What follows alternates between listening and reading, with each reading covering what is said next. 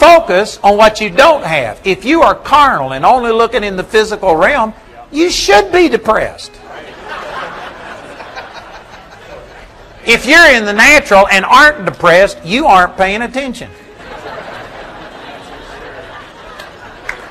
I guarantee you, just in the natural realm, there's a lot of problems going on. There's a lot of things bad. There's lots of reasons to be depressed. Your emotions follow what you think on. And if you're depressed, it's because you are looking in the physical, natural realm. You're evaluating things only based on the physical. You aren't thinking spiritually. You aren't seeing who you are in Christ.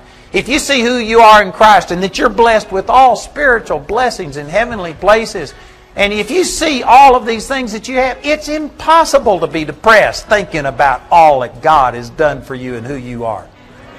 It's incompatible. Somebody said, but I'm, I'm hungry and I need this. Well, you can either look at your physical things, or if worse comes to worse, I believe God wants to bless us in this physical life and see those things manifest. But if nothing ever happened and if you died in heaven, you're going to be provided in such luxury. You're going to live in a mansion. You're going to have streets that are paved with pure gold. So even if you weren't seeing physical manifestation of your things right now, you could just start thinking about heaven and you could rejoice thinking, Father, it's only temporary. If you were thinking spiritually, again, it's God's will for you to be well. But if you weren't well and if the doctor told you you were going to die, I believe God wants us to see that healing here. But if it never happened, you're going to go to heaven where you'll never be sick. You'll have no more sorrow. You'll have no more pain. And if you were thinking about that, you know, we sing this song about when we all get to heaven. What a day that's going to be. And then the doctor tells you you're going there and you cry. That makes you think it was kind of just religious, amen. It wasn't real from your heart. If you were thinking like Paul, where he says, For me to live is Christ and to die is even better, I'm having a struggle because I want to go to heaven so much, but it's more needful for me to stay here for you, so I'm going to stay. If you had that right attitude and if you were thinking scripturally, when the doctor tells you you're going to die, it'd be just like all you could do to keep up, keep from reaching up and kissing him. Awesome. Man, for me to die is Christ. That's awesome. It's gain. See, that's spiritually minded. So I'm not denying that we have problems, but I'm saying if you evaluated your problems not only looking at the physical and looking at the doctor's report and the banker's report and all of these kind of things, but if you looked at God's report and what He's promised you, what you have in Christ is so much greater than any problem that you could ever have come against you that it's not even worthy to compare. That's what it says in Romans 8 17.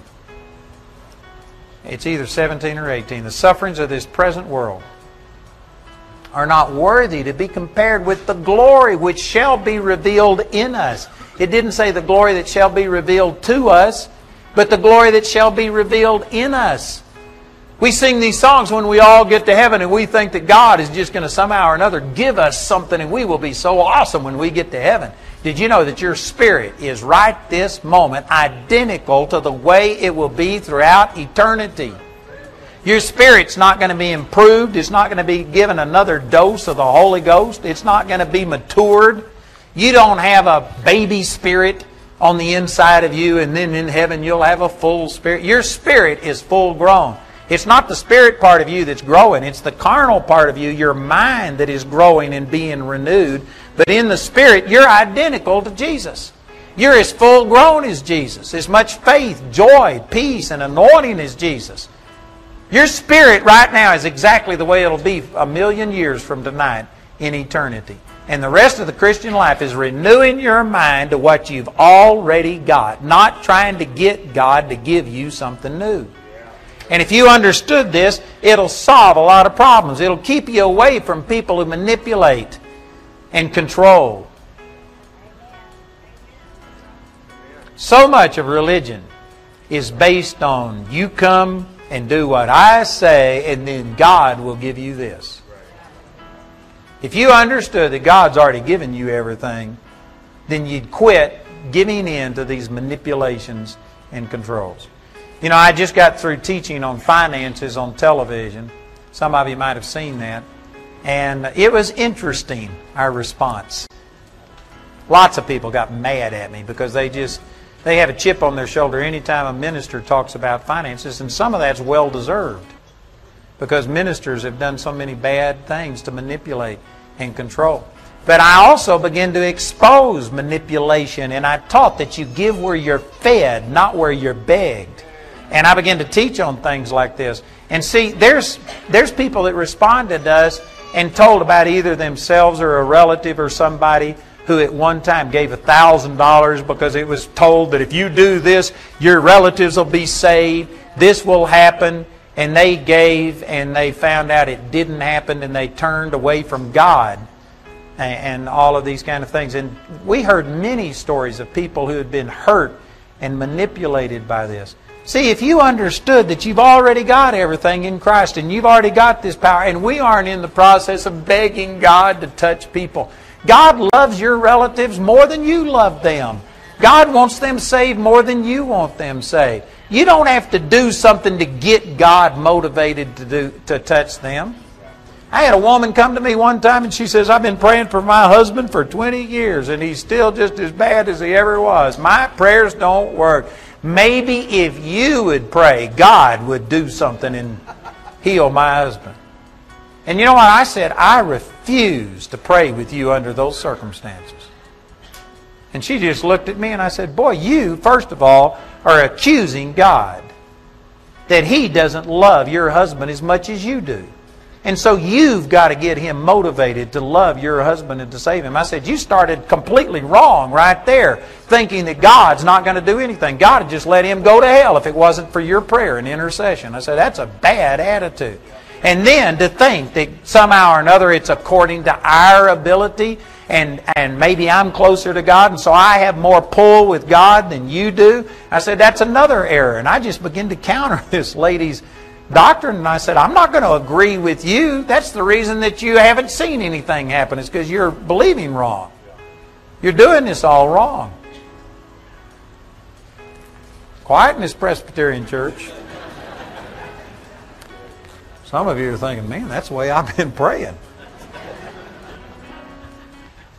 See, that's that's the reason that we can be manipulating. People say, if you'll send in this thousand dollar offering, then God is going to move and do this. You can buy it. That's what the Catholic Church used to do in the Middle Ages with indulgences. They made billions of dollars off of praying people out of purgatory, which doesn't even exist.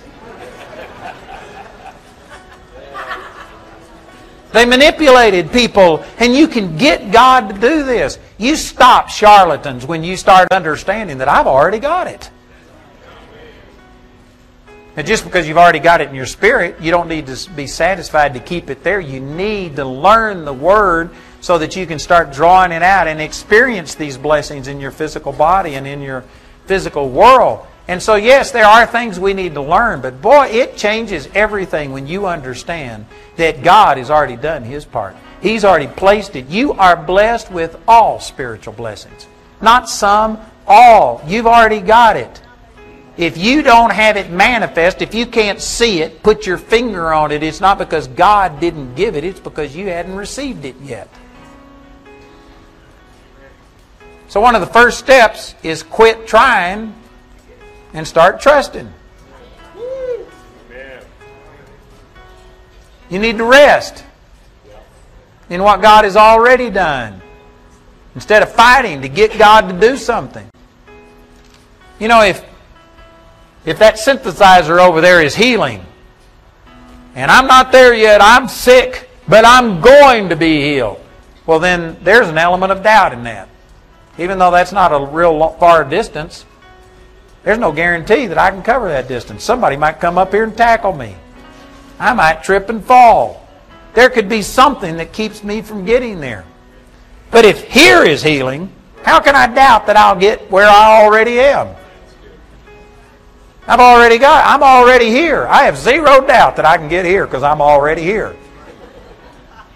If you'd quit saying instead, I'm going to be healed, and say, by his stripes I was healed. I have the same power on the inside of me that raised Christ from the dead. Then you'd quit doubting that you would get what you've already got. That changes everything. Isn't that awesome?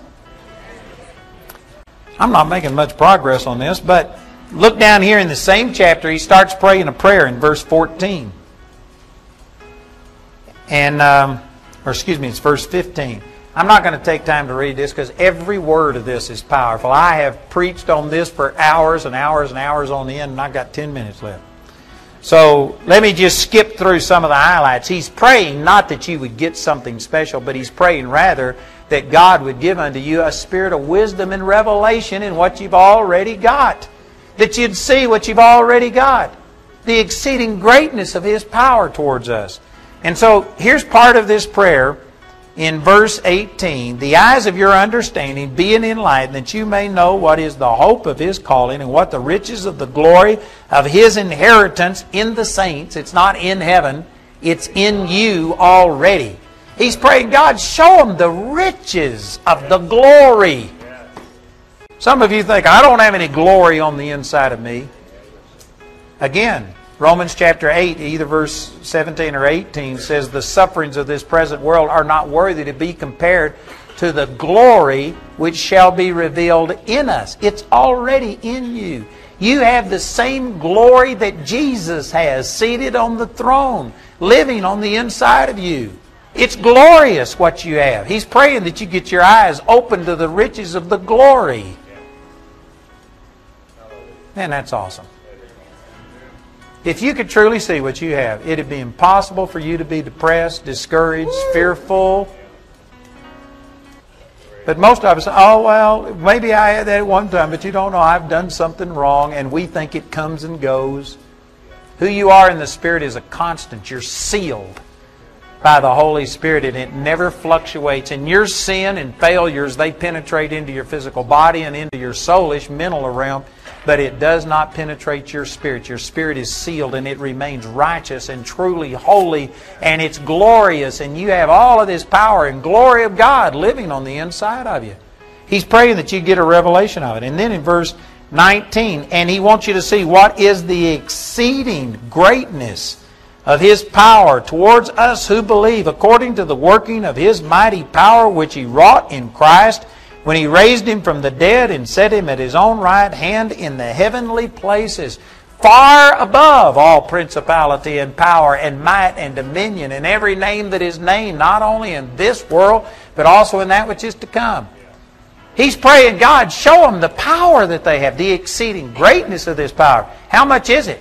It's the same power that it took to raise Jesus from the dead and set him at his own right hand in the heavenly places. Not just a little bit above Satan. It's a close contest, but in a pinch, Jesus would win. No, it's far above all principality and power. That's the power that you have on the inside of you. I have so many people come to me and they try and make themselves as pathetic and pitiful as they possibly can so that I'll have pity on them and they just, oh, my situation is so bad. I hurt so much. I, and I'm, you know, some people get upset at me. I'm not, I'm not making fun of people. I'm not trying to do that. I'm trying to amplify how wrong that attitude is. But there are people that delight in being pitiful and letting everybody know how pitiful they are because they get sympathy and pity and they're searching for help. And they come and they said, Would you please agree with me? And I tell them, No, I'm not going to agree with you because you are absolutely pitiful.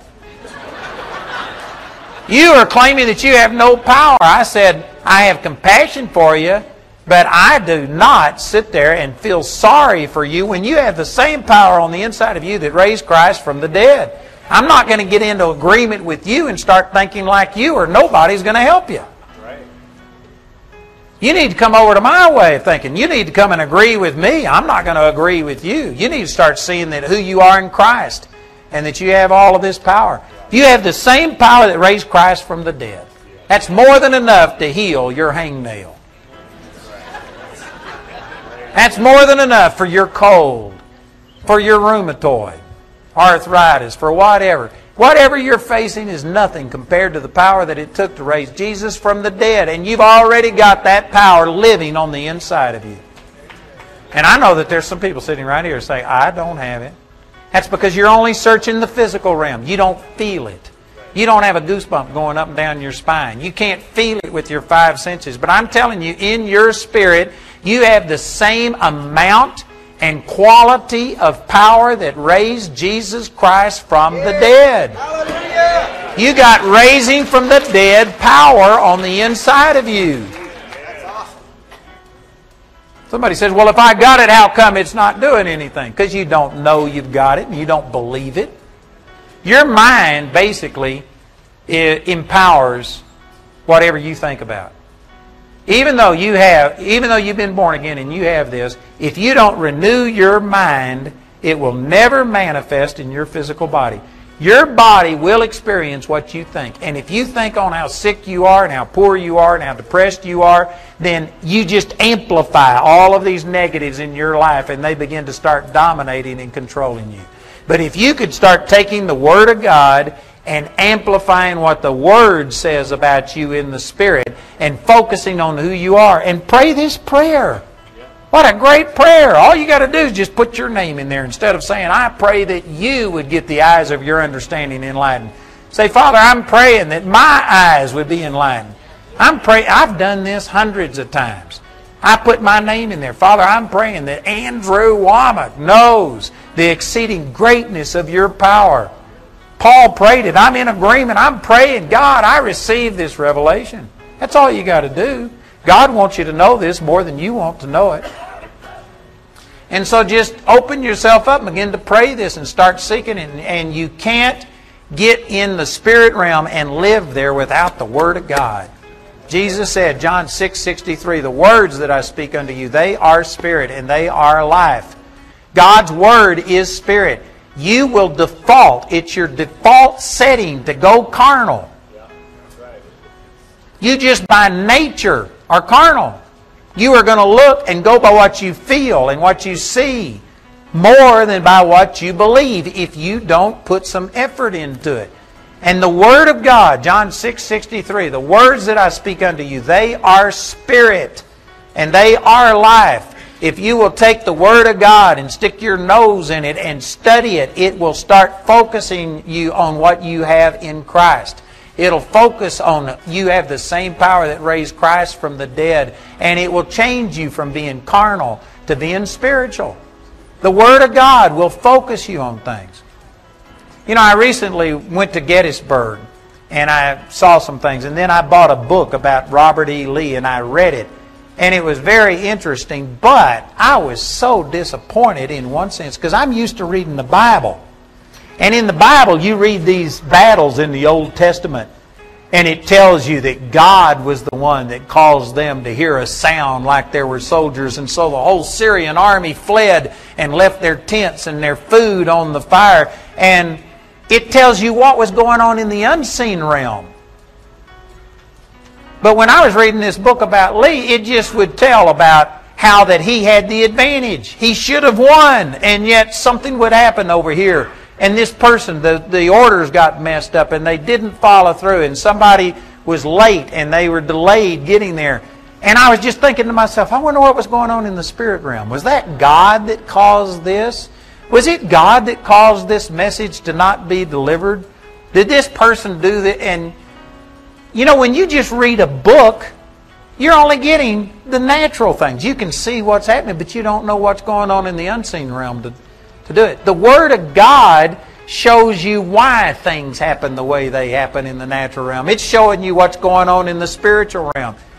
And I tell you, I just love the Bible because it gives you the spirit behind it. It, it brings you into the spirit realm. It lets you see things from God's perspective and not just a human perspective. Nothing else is like the Bible. No other movie, no other book, Nothing else brings you into the spirit realms and shows you what's going on and why this happened and why people are the way that they are. I tell you, I don't know any other way to be in the spirit than to go through the Word of God. And there's a lot of people that are just by default going with the carnal and they don't receive the blessings of God because they just aren't spiritual, they aren't renewing their mind they are stuck in the physical realm. And the truth is that you've already got everything.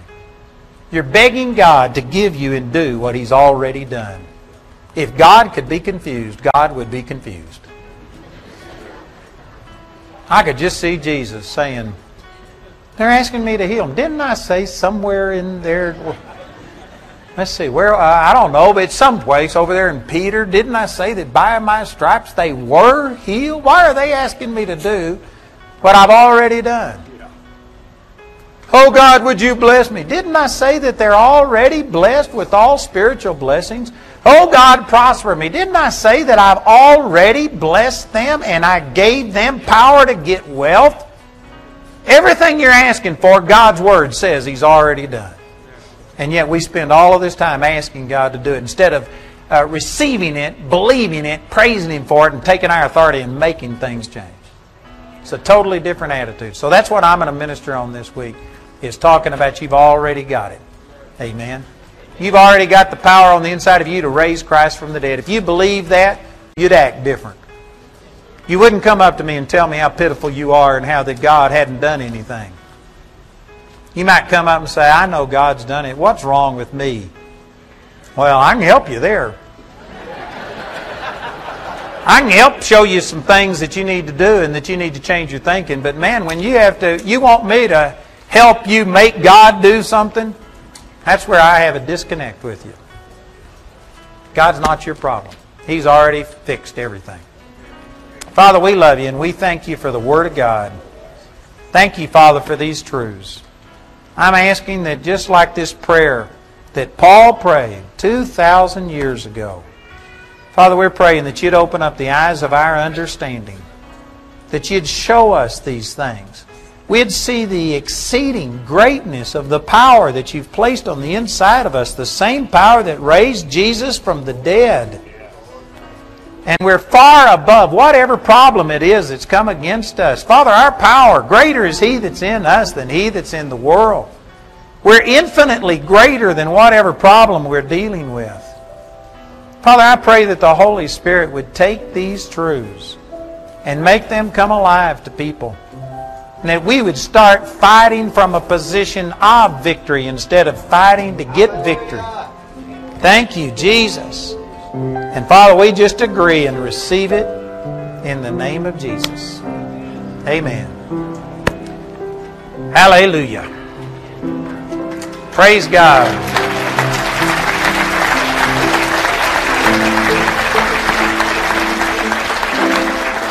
You know, I want to give you an opportunity to respond today, and there's there's a lot of things that we could do, but it's time for you to go get your kids.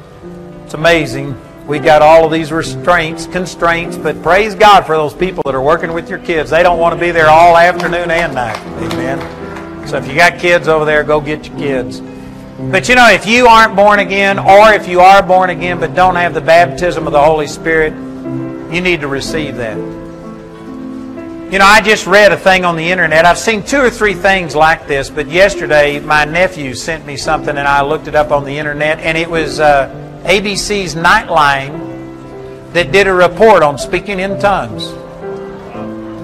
And they had a medical doctor that has been researching this for years, and he took this pastor and uh, did an MRI on his brain and had him sit there and start praying with his understanding. And so he was praying and asking for God to, you know, direct these doctors and the nurses and everything. And he was praying, and they did an MRI as he prayed. And the frontal lobe of your brain, which controls speech, was very active. It lit up in this MRI. And then they told him to start praying in tongues. So he started praying in tongues, and that frontal lobe went inactive. And it bears out what the Word of God says that when you are speaking in tongues, it's not your brain speaking, it says it's your spirit that is praying. And, you know, Nightline is Nightline. They didn't just come out and say, it's good, go for it.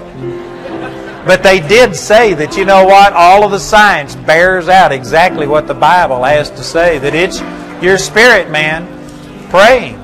And this is so important. We don't know how to pray with our little peanut brain. You know, everything I've been saying today was about who you are in the Spirit, and you've got all of this in Spirit. It's in the Spirit that you're perfect. It's in the Spirit that you have the mind of Christ. It's in the Spirit that you have this raising from the dead power. How do you activate that? How do you get it out of your spirit? Speaking in tongues is just like finding a light switch.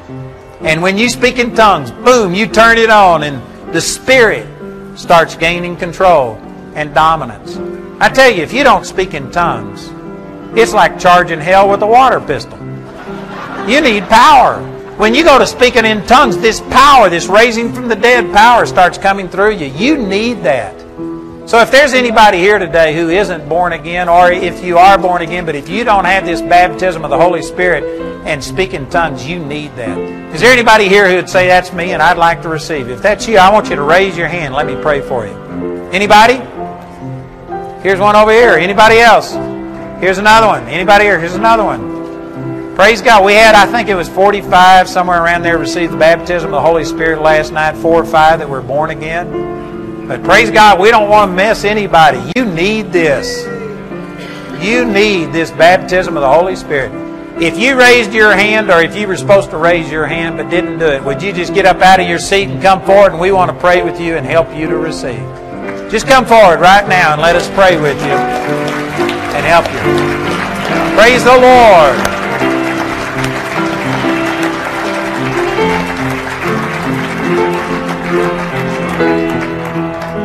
Praise God. This is great.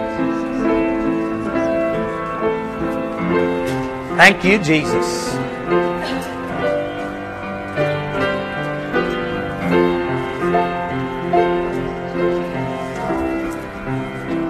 Praise the Lord.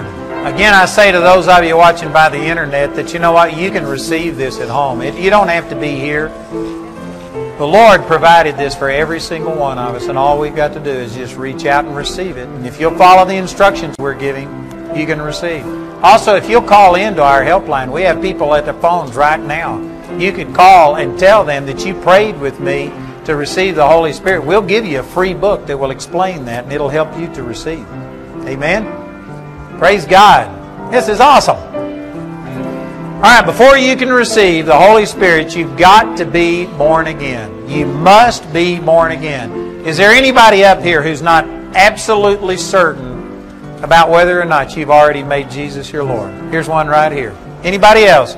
I want to pray with you first and just make sure that Jesus has come into your life. Brother, how did you live so long without Jesus being your Lord? I bet it's been a rough it's been a rough road, hadn't it? It wasn't easy at all. man, God loves you, brother. He's going to change your life today. You're going to be a brand new man. Isn't that awesome? That's going to happen. You ready? Awesome. Thank you, Jesus. Is there anybody else that needs to pray first and make sure that Jesus is your personal Savior? Anyone else? Are all the rest of you sure? I'm not trying to talk you out of it. You just got to be sure. Amen. Well, what I'm going to do, I'm going to lead you in a real simple prayer. And it's not magic. It's not like you just say these words and instantly it happens. The Bible says you have to believe it in your heart. But I'm going to say the words similar to what you need to say. And if you will repeat it after me and mean it in your heart, then I believe you're going to become a brand new person and God Himself is going to come live on the inside of you. Is that a good deal? That's a good deal. Yes, you, sir. You believe that? Amen. Let's everybody say this so that he won't feel like we're just listening to him. Say, Father, Father, I'm sorry for my sin. sorry for my sins. I believe Jesus died to forgive my sin. To forgive my sins. And I receive that forgiveness. I receive that forgiveness. Jesus, I make you my Lord. Jesus, I make you my Lord.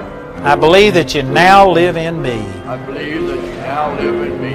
I am saved. I am saved. I am forgiven. I am forgiven. Right now, Right now, in Jesus' name. in Jesus' name. Amen. Amen. Do you mean that, brother? Yes, sir. Well, welcome to the family. Awesome. You just got changed on the inside. Isn't that awesome? I got a book I'm going to give you that will explain things to you. There's more happened to you than what you understand right now, but in the spirit, you're identical to Jesus, just like I was talking about. Thank you. Isn't that awesome? And now, every one of you is just like that in the Spirit. And the Bible says that you are the temple of the Holy Spirit. This is what He created you for. So there's no way that God wouldn't give you the Holy Spirit. This is what He made you for. So we don't have to beg and plead and ask, will God do this?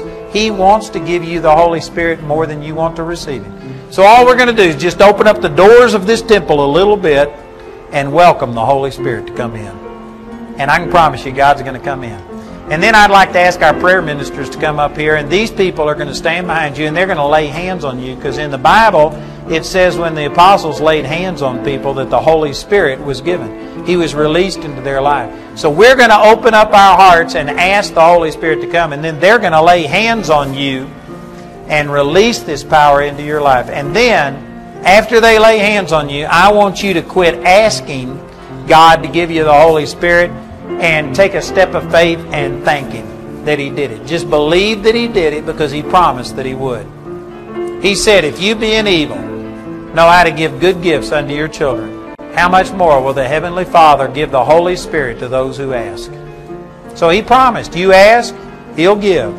So we're going to ask, they're going to lay hands on, and then I want you to quit asking and start thanking God for giving you the Holy Spirit. And then we're going to start praying in tongues because the Bible says, 1 Corinthians 14, 17, that when you pray in tongues, you're giving thanks.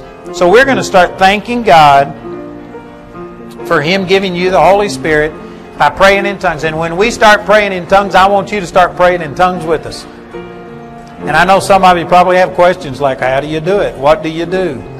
I've got a book that will explain it. I hadn't got time to explain everything right now, but if you're ready, you could speak in tongues right now.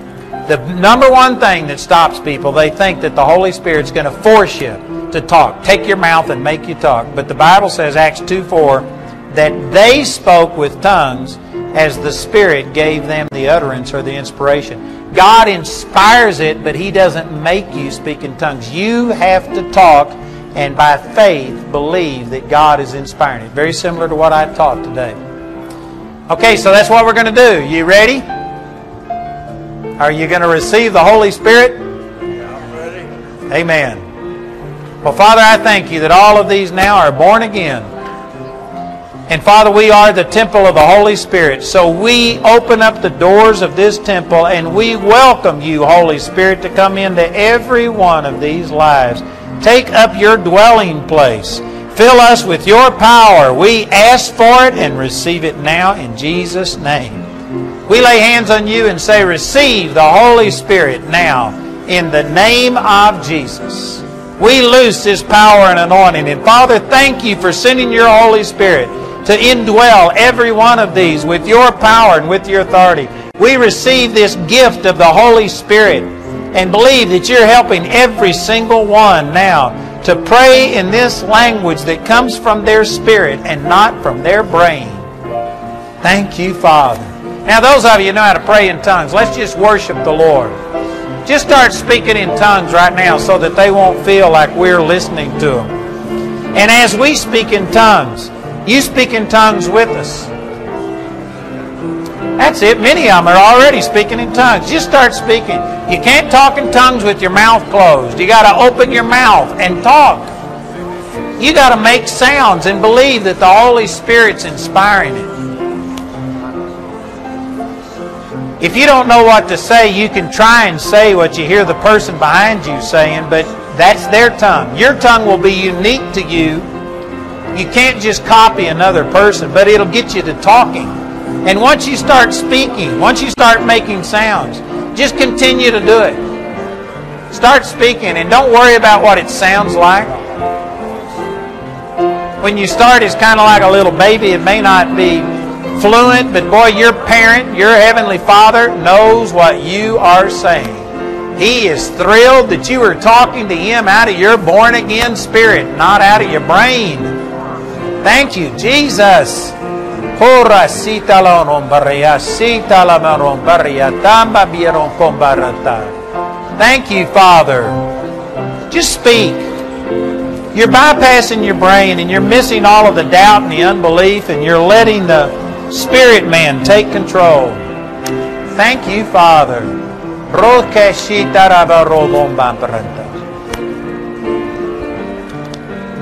Hallelujah.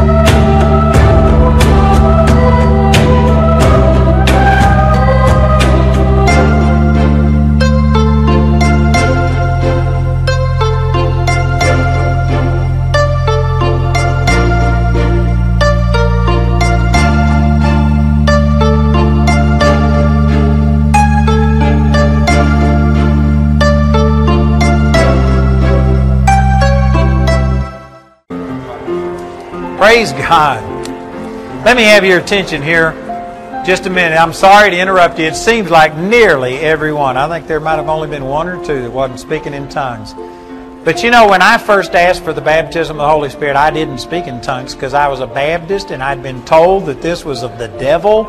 And I was so fearful of it. I had so many questions, I just wouldn't let it happen. And it took me three and a half years to speak in tongues. I received the Holy Spirit when I first prayed, but I didn't speak in tongues. When I spoke in tongues, it was just like I got it all over again. So it is important that you speak in tongues. But I'm just wanting to assure you that the Lord promised He would give the Holy Spirit to those who ask. So I believe you did receive, but you need to go ahead and speak in tongues. And I've got a book that I wrote. I don't think anybody had more problems speaking in tongues than I did. Man, I've had I had quite a bit of problems. well, no, you just you've only been waiting a short time, praise God. No, I've been waiting four years. Well, no problem. So anyway, I wrote my answers that the Lord gave me in this book, and if you would, I'd like you to follow Robert right here, and he's going to give you a free book. And if you have questions, they'll answer your questions, minister to you any way they can. But this is Robert right here in the blue shirt with his Bible up in the air. Go with him. He'll give you a free book. It'll explain salvation and it'll help you. You're welcome, brother. Praise God. Isn't this awesome? Let's praise God for all of these. Thank you, Jesus.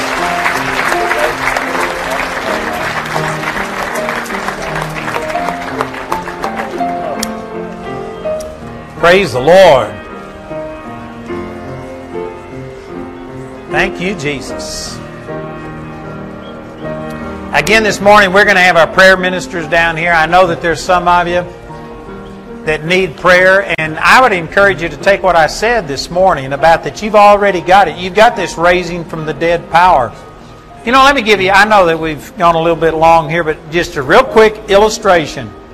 My sister, who taught third grade, her students asked her one time about what's the point of laying on of hands because she taught them that you already had this same power on the inside. And you know, God gave her a real great illustration. She says it's like when your battery on your car dies. You got everything in that car to make it work, but you just don't have that spark to get it started. So what you do, you pull another car up and you put those jumper cables on and you bypass your dead battery and start the car off the other one.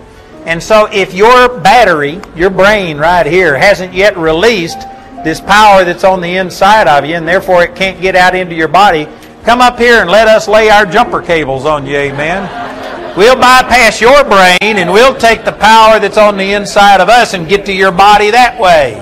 Amen. But this doesn't negate the fact that you have the same power that raised Christ from the dead. You just got a loose wire that's keeping it from being transmitted. Come down here and we'll lay hands on you and help you. Amen.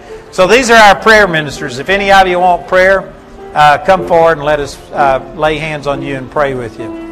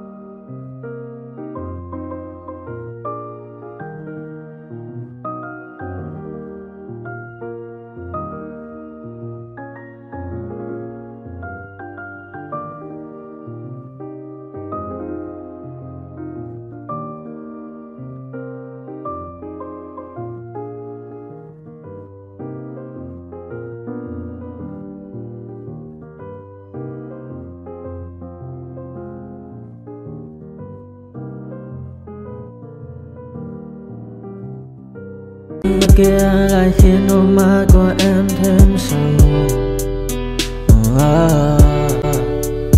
Vì sao em đi cần để lại lý trí? Chẳng để lại anh khi nước mắt còn rơi còn rơi. Vì sao em đã vội quên đi bao câu hứa Mình còn cho nhau? Quên đi bao nỗi đau mình dành. Vì giờ em đã vội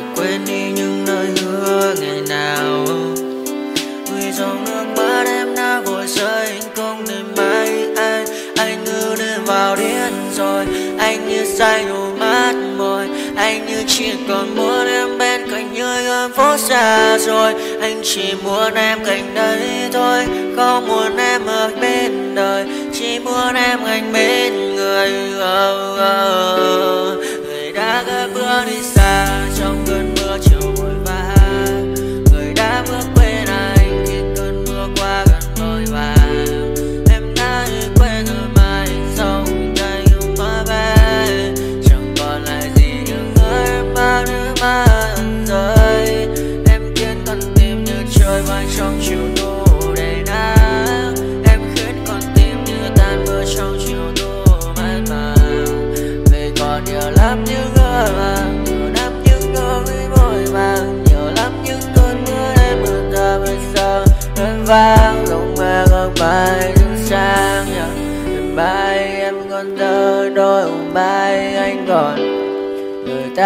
xưa ta chung còn giữ nhau Chẳng để giữ lấy em khi cơn mưa về đến. Và chẳng cần nhau khi anh với em cùng một đêm, trôi Em ơi ta còn gì nữa đâu một cơn mưa ngày hôm qua. Ta còn lại gì nữa đâu khi em